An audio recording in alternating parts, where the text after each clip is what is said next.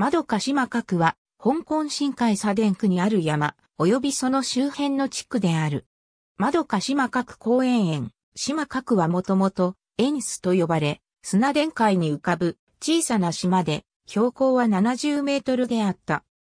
19世紀、マドカスは、九流から関東の他地方へ行く際の道中にあったため、王子は旅人をもてなす、吉都市客さんと呼ばれる施設を作ったが、移行エンスの地位は徐々に下がり、他にとって変わられた。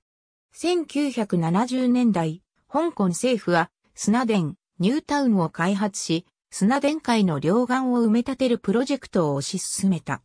これにより、もともと砂田海の中央にあったマドカスは東岸の一部となった。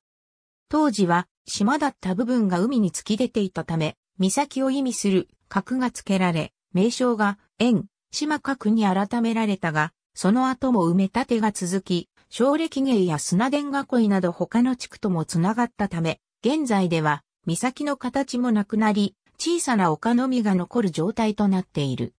1980年10月、窓か島角に仮設住宅が設置され、最盛期には香港最大の4560人が住んでいた。1991年から1994年にかけて、この仮設住宅は段階的に取り壊され、代わって台湾村、高原村、リアス村が建設された。ニュータウン建設の初期段階において、窓か島各周辺の埋め立て地に、砂田、第一条、油田園などが建てられており、一帯は現在でも、園、島角と呼ばれる。しかし、砂田、第一条が知名度が上がるにつれて、この地区は第一条区と誤って呼ばれるようになった。近年では、縄文川東岸の開発が進み、他の大規模住宅も数多く建設されたため、現在では、円、島角を含む、東岸全体を指す地名として、白加島が定着している。窓数はほぼ原型のまま残されているが、現在では、白加島中央に存在する小さな丘、円筒の山となっており、周囲を大遊橋路、砂当時、円、島各自と住宅に囲まれている。もともと島であった部分は窓か島各公園となっている。山頂へ至る道は歩きやすく整備されている石像の人敬園、島各公園の小さな丘、窓か筒の山は標高71メートルで砂田海が埋め立てられる前のエンスの姿を残している。